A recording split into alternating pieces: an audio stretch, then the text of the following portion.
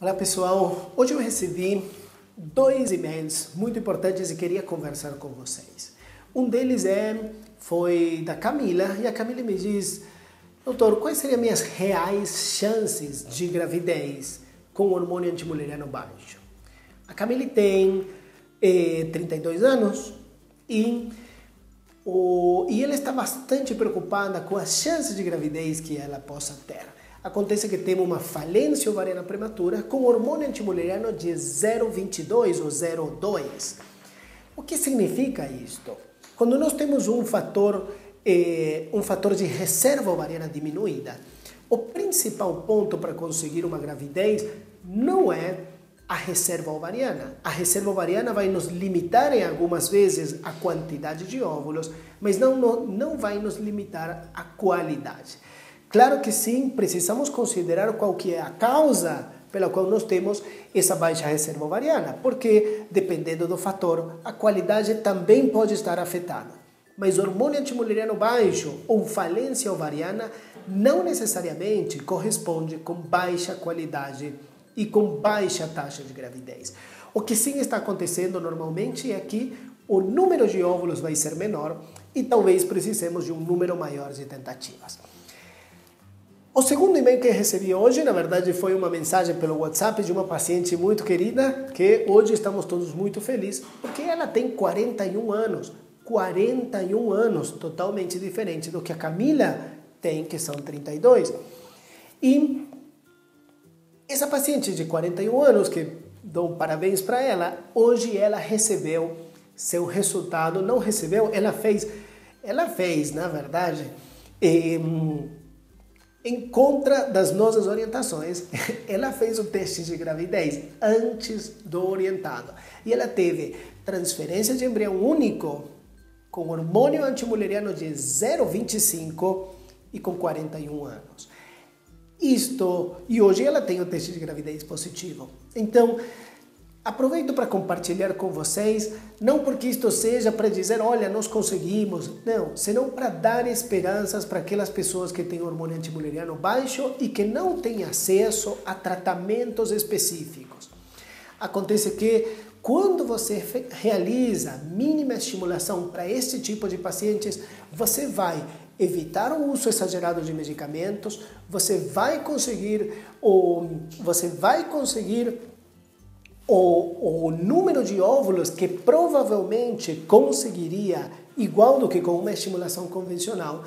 Então, e você consegue diminuir o custo também secundariamente. O principal objetivo da mínima estimulação é a personalização do tratamento para a necessidade que você tem.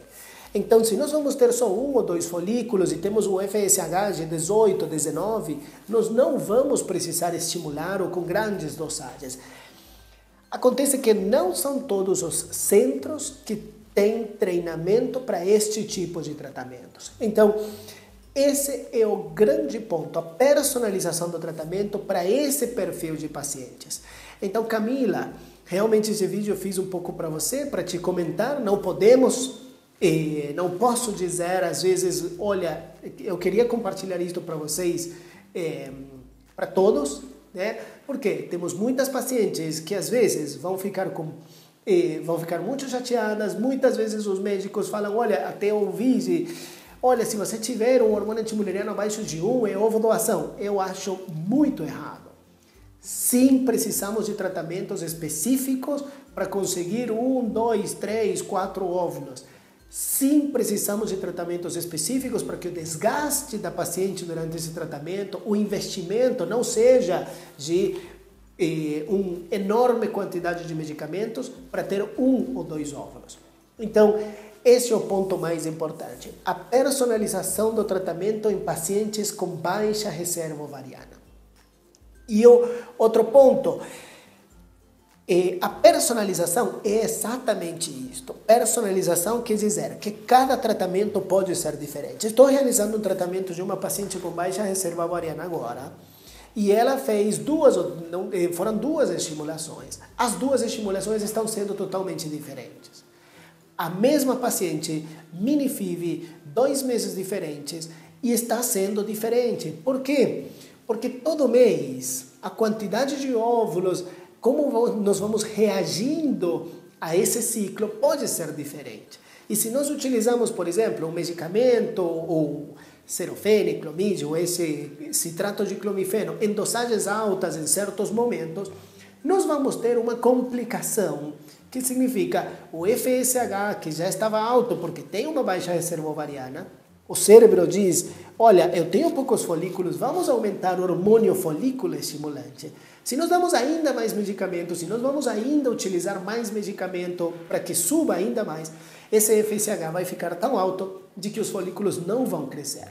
Estes são pontos técnicos que quem está acostumado a cuidar desse tipo de pacientes sabe como funciona essa fisiologia desses folículos. Então, bom, fico muito feliz de que tem muita gente aqui e queria também convidar vocês para o bate-papo de amanhã. Amanhã talvez seja um pouquinho mais cedo, mas vamos falar de hidrosalpinge. Até iria entrar agora para falar disso, mas vou ler um, par da, um pouco das perguntas. Estamos tendo aqui várias perguntas. Obrigado a todos por estar aí. Compartilhem aqui, compartilhem. Né? Compartilhem, compartilhem.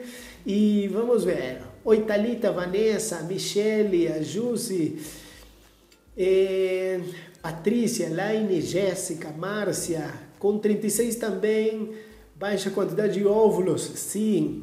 É, quanto maior o tempo e, e menor a reserva ovariana, às vezes vamos precisar de mais tentativas ou juntar mais, mas esses detalhes depois explico em outro, em, em algumas dúvidas de fertilidade para vocês, específico de como funciona a mini-FIV em pacientes com baixa reserva. Mas quanto mais novos somos, mais fácil conseguir gravidez. Então, a baixa reserva ovariana, e a mensagem é essa, a baixa reserva ovariana nos diz de que vamos ter poucos folículos e não que não vamos conseguir. É, a Juliane, te mandei mensagem no Face sobre meus embriões, me pergunta, não vi. Juliane, tem coisas que eu não posso opinar às vezes, é, mas já falo para vocês. A Gavi, meu hormônio antimuleriano deu 1.7, tenho 32 anos, isso é um hormônio antimuleriano relativamente baixo, é sempre baixo, tenho chance de conseguir. Gabi, o que acabei de falar. É, nós temos gravidez com hormônio antimuleriano de 0,2 em pacientes de 41 anos. Então, o hormônio antimuleriano, já, tudo que eu falei já responde tua pergunta. Importantíssimo, importantíssimo. Só um exame de hormônio antimuleriano, eu não posso dar uma opinião e dizer sim, você engravida ou não. Porque eu não sei como está a qualidade do sêmen, eu não sei se o sêmen é bom, eu não sei se a qualidade dos óvulos é boa, mas isto depende de cada pessoa. Só pelo hormônio antimuleriano não conseguimos dizer sim, você engravida ou você não engravida. Então, existem inúmeros fatores pelos quais, às vezes, as perguntas que vocês fazem, eu eh, não respondo tão amplamente como se fosse quando estão numa consulta. Porque não conheço nem o espermograma do marido, é impossível dizer, não, tenta tranquila que você vai engravidar e o marido tem um milhão de espermatozoides em casa, por exemplo. Né? Saibam entender esses pontos quando vocês me perguntam. Muito bem, Ana Karina, um abraço, obrigado aí. Cristiane também. E Mari, um abraço. Carla, um abraço. Marcilane, meu hormônio antimuleriano deu 23,5, tenho 31. É bom? Corro risco de hiperestímulo? É muito alto, suspeitosamente muito alto, ou seja, suspeita demais. E acho meio estranho ter tão alto. E, mas consulte com seu médico sim, e hormônio antimuleriano alto aumenta o risco de hiperestímulo. Muito cuidado. Buenas tardes, diz Estela Maris. Ah, desde Catamarca, um abraço para você, Estela Maris. Ana Paula, um abraço. Camila, Alessandra, oi. E a Josi, obrigado Josi, a Mari. Aline, meu FSH subiu para 12.9 nesse ciclo. Era 9.8, hormônio antimuleriano 0.3. Isso me traz per... que perspectiva? Tenho 35 anos, já de gravidez natural, a depressão já bateu aqui. Aline, para dizer, ou seja, Existem muitas mulheres que vão ter um hormônio antimuleriano baixo e que nunca vão perceber. Elas vão ter um hormônio antimuleriano baixo, vão estar tentando em casa, vão engravidar sozinhas e nunca vão perceber que tiveram um hormônio antimuleriano baixo. Depois engravidam, ficam 3, 4 anos e às vezes podem ter, começar a ter ciclos irregulares. Então, eh, só a baixa quantidade não quer dizer que você não engravide. O que, que nós precisamos fazer uma mulher de 35 anos que tem uma baixa reserva ovariana? Quanto tempo eu vou tentar de maneira natural? Ah, eu posso tentar um ano? Eu não sugiro. Principalmente, acima dos 35 anos, seis meses que não engravidamos e precisamos buscar ajuda. Então, Aline, sugiro sempre ótimo espermograma no lugar eh, especializado e estar acompanhada. Não precisa eh, não precisa estressar e sair correndo, sim precisa tomar conta e se cuidar. Então, tentamos seis meses, mas Antes disto, avaliação com o médico, saber se as trompas estão boas, saber se o espermograma no lugar reconhecido está normal e aí que nós vamos poder dar uma opinião certeira. Márcio, obrigado, um abraço para vocês. Jordânia, boa tarde. Mariana entrou aí, boa tarde. Cristiane, doutor, fiz e coloquei três blastocistos e não deu certo. O que pode ter acontecido? Difícil, Cristiane, de saber. Realmente tem que conhecer o caso para saber. São muitos embriões e muitos embriões, realmente, para ter transferido. É, Alessandra, doutor, fale de PGD da próxima vez. Vamos anotar aqui. Realmente estou anotando todos os temas que vocês que vocês me falem. Eu anoto aqui e vamos é, e vamos falando durante os durante os bate-papos. Estou ficando muito estressada, com dor de cabeça, cólicas, doutor, é normal. Vanessa, às vezes o uso do medicamento ele faz que você tenha dor de cabeça. Pode tomar Tilenol. Bom, estamos fazendo consultas aqui. Essa paciente, essa paciente, só para vocês saberem, é paciente, quem estava respondendo é paciente que eu conheço, né? não é qualquer paciente. Luciane, opa, tudo bem? Um abraço. Hormônio antimuleriano de 1,29 a 2 anos. Quanto estaria em teoria hoje? Mariana, muito difícil de te dizer. Depende muito da tua idade, tá? Mas 1,29 em 2 anos é, ele vai diminuindo constantemente. Não tenho aqui para mostrar para vocês, mas ele diminui constantemente. Camila, a Ju, eu fiz um antimuleriano no começo do ano que deu 1.27. Tinha 33 anos. Fiz a minha eh, fiz a minha primeira FIV com estimulação normal, tive 18 óvulos e 11 maduros. Meu marido tem oligospermia severa. 1.27 com estimulação forte realmente pode conseguir. Acima de 1, nós esperamos conseguir às vezes mais do que 8 a 10 folículos. Gabi, boa tarde. Ingrid, meu hormônio antimuleriano deu 0,36, tenho 34 anos, consegui só dois folículos, do um fertilizou, tive positivo, mas não evoluiu. Será que consigo ter mais folículos para tentar de novo? 0,36, esperaria de 1 a 4. Então, não é tanto, sim, talvez eh, acompanhando, personalizando, às vezes conseguimos todos juntos, né? Mas isso é muito difícil. Já fisicamente, ou seja, fisiologicamente, já é normal ter um, os folículos um pouquinho diferentes. Então, por mais que eu tenha quatro ou cinco, não sempre vou conseguir que estejam todos maduros. Mas faz parte da técnica de tratamento tentar conseguir que cresça mais do que um e que eles não cresçam tão separados um do outro, Ingrid. Doutor, com 20 mil, 20 mil espermatozoides, pode dar certo a FIV? Sim, Jordânia. E precisa ver que estejam vivos, de boa qualidade, mas sim, com um espermatozoide, um espermatozoide, uma FIV pode dar certo. Marcilane me pergunta, eh, ah, a Luciane primeiro, muda de um ano para outro, a, a reserva ovariana, ele conta quantos óvulos você tem, não conta, senão ele é uma, uma é um hormônio produzido pela quantidade de óvulos que você tem se preparando para ovular. Então, se você tem mais, o hormônio antimuleriano vai ser maior. Se você tem menos, vai ser menor. E todo o tempo todo que você tem ovulações, esse número vai diminuindo. Então é normal, é como o meu cabelo, todo o tempo ele vai diminuindo. O hormônio antimuleriano também, com a idade, vai diminuindo até que chegamos na menopausa. Marcilane diz LH de 3, FSH, hormônio antimuleriano 23, a medição recomendada a dose mínima para não ter hiperestímulo. Correto. Se temos hormônio antimuleriano muito alto, alto risco de hiperestímulo. Maridos vasectomizados, ótimo ponto também, Luciane, vamos anotar aqui, vasectomizados. É interessante, muito interessante, é muito fácil de resolver, mas é muito bem.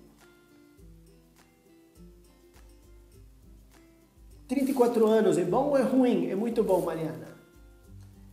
Cristina, doutor, meu antimuleriano deu 1.66, tenho 44 anos, é um hormônio antimuleriano muito alto para os 44 anos. É muito alto. Ainda tenho chances com meus óvulos? Cristina, o hormônio antimuleriano nos diz a quantidade que nós temos. Isto pode chegar a facilitar. Né? Facilitar por quê? Porque em cada tentativa você vai conseguir um pouco a mais. Cristina, se você deseja engravidar, precisa de uma consulta urgente. Urgente significa não posso esperar até o ano que vem para fazer uma consulta e depois ver em fevereiro, em abril, porque o tempo realmente é o principal fator de gravidez, tá bom? E 44 anos, estamos extremamente no limite.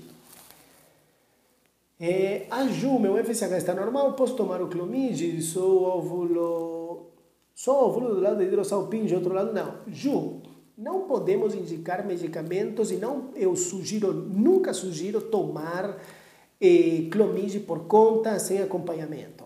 Jamais. Para a idade de 30 anos, qual seria um resultado bom do antimuleriano? Hum, é difícil de dizer. Não quero responder essa pergunta, Luciana, desculpa. Doutor, hormônio antimuleriano caindo bruscamente de 2,9 a 0,82 agora. Me, eu conheço o teu caso, esse 2,9 acho que não é muito real. Tá bom? Acho que esse 2,9 eh, a gente pode discutir pessoalmente esse dado, mas não estou tão feliz. Pelo que eu lembro, nunca tivemos uma quantidade de óvulos, mas bom, te convido a, a fazer pessoalmente essa discussão. Camila, eh, tenho FSH e LH menopausados, hormônio antimuleriano 002, porém estava com um folículo dominante na segunda-feira e vários antrais. Sentia dor da ovulação, Dor da ovulação e desde ontem parou meu muco. Acho que rompeu. Sim, namorei direitinho. Acho que tem chance de conseguir natural nesse ciclo? Se você ovulou, você teve relações e está mais ou menos na metade do ciclo, existem sempre chances. Se tuas trompas são pérvias e teu marido tem espermatozoides, eh, existem chances sim.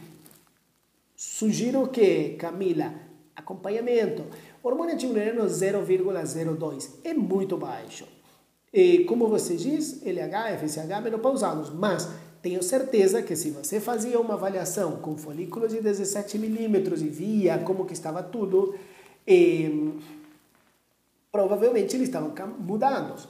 Se você tem menos de 45 anos e tem esse, e tem esse hormônio antimuleriano, é porque você tem provavelmente uma falência ovariana.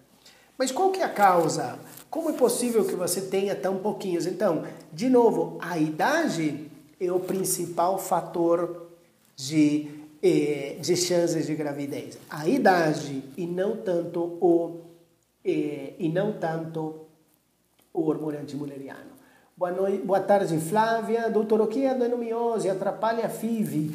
Adenomiose é a presença de glândulas que estariam bem no centro do útero, só que elas estão no meio do útero e às vezes pode atrapalhar, mas é difícil de tratar, mas é, não é que você não vai conseguir engravidar. Meu hormônio antimuleriano é 0,22. Será que tenho chances? Camila, de novo, como a resposta que falei para vocês, é, depende principalmente da idade. Michele, preciso me preocupar? Michele, temos que cuidar. Né? Temos que cuidar e não ficar esperando se nosso objetivo é gravidez a longo prazo. É, muito obrigado pela resposta, diz a Jordânia. De nada, são vocês que fazem esses, esses dúvidas, né? Todas as suas dúvidas eu vou anotando aqui, depois eu vou respondendo também. Vou marcar um abraço, Michele, te espero. Luciane, que tem cisto hemorrágico, se fizer retirada, diminui o antimuleriano? Verdade, verdade cisto hemorrágico, a menos que seja uma urgência, não precisam retirar. Anticoncepcional e ele some. Silvana, bem-vinda. Camila, obrigada. Ótimo, Camila, obrigado. Fico feliz de estar ajudando. Michele, É, laparoscopia, às vezes diminui. A laparoscopia pode diminuir sim a reserva ovariana. A mel. Iniciei minha filha em Pernambuco, tenho 40 anos, estimulação 8 óvulos, muito bem, 6 maduros, ótimo para a idade, 4 fertilizaram, 3 chegaram para cistos, enviaram para estudo PGD. Se estimular de novo, quantos óvulos posso vir a ter? O Seigonal 300. A mesma coisa, mel, assim, cada mês pode mudar, os meses podem mudar a quantidade de óvulos. Tá bom? Isso vocês têm que saber que cada mês podemos ter uma quantidade diferente, sobretudo se temos reserva ovariana baixa. Infecções e hidrossalpinge, salpingite, etc. com relação à FIV. Como tema, Mariana, acho que Mariana não prestou atenção no nosso convite de ontem. O tema de amanhã é hidrossalpinge. Então, Mariana, amanhã te espero para falar de hidrossalpinge com você. Aparecida está aí. Muito bem, pessoal, levamos 20 minutos, entrei para falar dois minutos e meio. Mais perguntas? Você acha que o laboratório influencia no resultado do hormônio antimuleriano? Sim, às vezes sim. Sugiro laboratórios mais reconhecidos. Nós usamos alguns padrões de qualidade que temos aqui, porque já tivemos várias alterações. Vou responder as últimas três, porque vocês não param de mandar perguntas. É amanhã o bate-papo, né? Não é hoje, mas bom, vamos lá. Minha amiga perguntou hoje, ela tem SOP, suas trompas são imóveis, recomenda FIV ou videolaparoscopia primeiro? Precisamos, precisa discutir isso com seu médico, tá? Porque idade é um ponto. As trompas, qual que é a afetação? Por que, que essas trompas estão alteradas? É, estão alteradas, estão duras. Chance de devolver essas trompas à vitalidade normal é difícil, mas são opções. Laqueadura duas gestações, vou tentar FIV, que terá gerado as chances aumentam de dar positivo. Jordânia, quem teve filhos, já tem comprovado de que o óvulo e o espermatozoide funciona e o útero também. Então, isto nos deixa um pouquinho mais perto do nosso resultado final. Boa tarde, doutor, diz Ana Paula. Ótimo, te espero, Ana Paula. Camila, hormônio antimulherano 02, 32 anos, tenho chance. Camila, Falamos a respeito da idade. Camila acho que perguntou quatro vezes a mesma coisa. Camila, e, assim, eu não posso responder pessoalmente cada caso, como falei para vocês, porque depende também dos fatores masculinos ou, e de outros antecedentes o resultado. Mas o hormônio antimuleriano, ele nos marca a quantidade e não as chances de gravidez.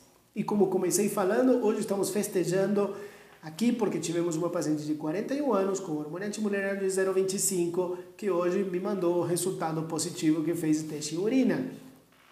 Então, é, transferindo um único embrião. Então, isto é um comentário para que vocês considerem, é, para que vocês considerem, para quem está tentando, para não, não desistir, mas sim se preocupar em cuidar nessa fase que estamos com baixa reserva ovariana. O mais importante é cuidar. Obrigado, queria ter tido a chance de fazer com o senhor, meu. Será bem-vinda. Doutor, descobri ontem que estou grávida, Aparecida. Parabéns para você, Aparecida. Parabéns, ficamos felizes. A Graça está aí, um abraço. Compartilhe, meninas, quem acabou de entrar e para quem não me conhece. Eh, eh, para quem não me conhece, eu sou o Dr. Júlio Vogetti, especialista em fertilidade.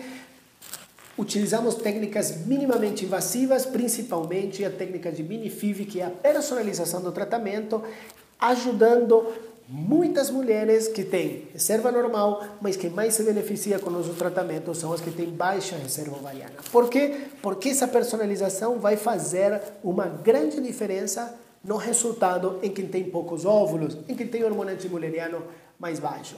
80% dos meus pacientes têm hormônio antimuleriano abaixo de 0,6, diria. Muito bem. Me pergunta aqui, Gabi, somos, somos oito a favor da Huntington. É, Alessandra, concordo, doutor Julio Huntington. Meninas, é, Alessandra, aqui em São Paulo, né? Meninas, na verdade, tenho várias pacientes de São Paulo, mas são várias. Hoje atendi uma, não sei se ela está aí entre vocês. Mas ela demora uma hora e meia para chegar aqui em Campinas. O laboratório da Huntington é um laboratório muito bom, não conheço tantos detalhes, mas eu sei que é bom. Mas nosso laboratório que eu utilizo é Androfert e realmente temos alguns detalhes que não são todos os laboratórios que têm. E nossos resultados realmente são muito bons. E muito bons porque cuidamos de muitos detalhes. Então, às vezes, essas pequenas viagens, e realmente tenho pacientes de Santos que vêm aqui, pacientes do Rio, pacientes de.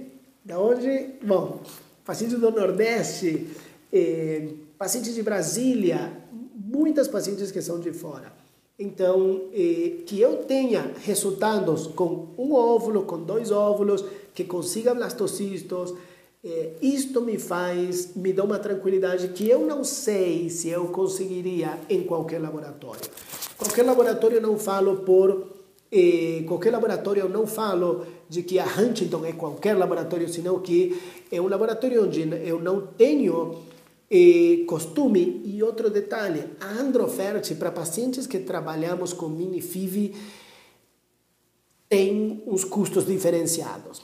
Por quê? Porque nós temos planejamentos e pacientes, por exemplo, elas vêm e planejamos com o objetivo de eh, planejamos com o objetivo de embriões normais ou embriões de boa qualidade. Olha, nosso objetivo de tratamento, por mais que você tiver um hormônio antimulleriano de 0,2, vai ser objetivo dois blastocistos de ótima qualidade como mínimo para transferir. Isto, tendo um, dois ou três óvulos, não é uma meta tão fácil. Então é por isto que eh, nós utilizamos este tipo de este laboratório. Né? E não posso fazer meus tratamentos em qualquer laboratório. Por quê? Porque não vão ser todos os laboratórios que estão esperando. E também, quando a gente planeja, olha, nosso laboratório vai ser, vamos fazer três ciclos. O laboratório não tem o mesmo custo que vocês teriam em laboratórios comuns. Então, eu faço tratamentos especializados, tratamentos personalizados que são totalmente diferentes aos convencionais, e o laboratório Androferti, ele cuida dessas pacientes também de uma maneira diferente. Então, e isto até tem um efeito na parte financeira, que é o que permite às vezes que a gente consiga fazer um, dois, três ciclos. Realmente faz diferença. E hoje em consultar, eu acho, não vi aí alguma das nossas amigas que está fazendo o tratamento aqui, porque eu acho que já fizeram em alguns lugares diferentes.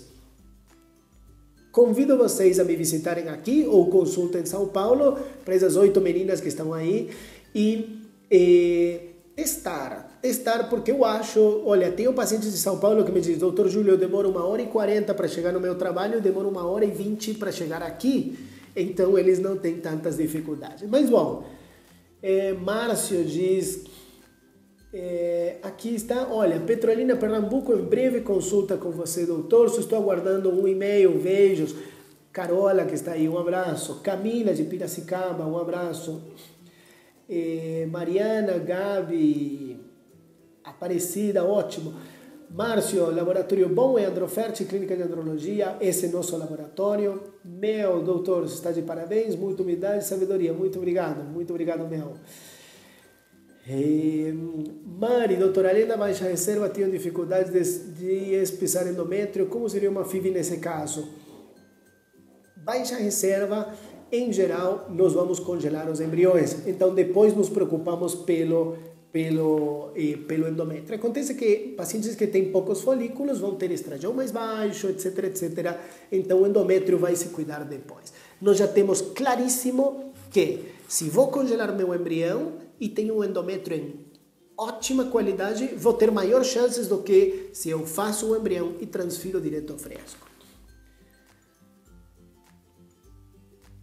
Muito bem, Grazi, boa sorte para você. Grazi transferiu um único embrião. Silvânia está aí, excelente ser embriologista, 17, sou embriologista há 17 anos, amo.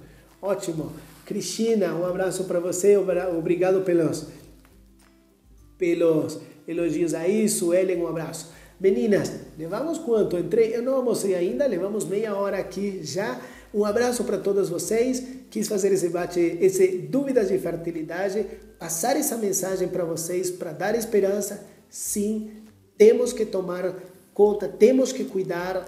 Então, compartilhem, compartilhem. Por que compartilhar? Por que, que eu penso compartilhar? Assim como vocês se sentem ajudadas, Tem muitas mulheres que têm às vezes hormônio antimuleriano baixo e elas decidem desistir, ou às vezes o médico pode não ter tanta confiança no tipo de tratamentos que eles têm disponíveis, e não é que esteja errado. E, se você tem uma técnica que tem muitas limitações, para quem tem um hormônio antimuleriano muito baixo e a única opção é ovo doação, talvez você vai sugerir essa técnica. Aqui nós somos especializados em pacientes com baixa reserva ovariana. Então a ovo doação é o último passo e na ovo doação pode esperar também. Então compartilhem. Muitas vezes vão estar ajudando outras pessoas, assim como vocês se sentem ajudadas hoje. Um abraço para vocês. O... Espero vocês amanhã, seis e meia da tarde, seis, seis e meia. Acho que vou tentar estar um pouquinho mais cedo para não atrasar. Um grande abraço e espero vocês até amanhã. Tchau, tchau.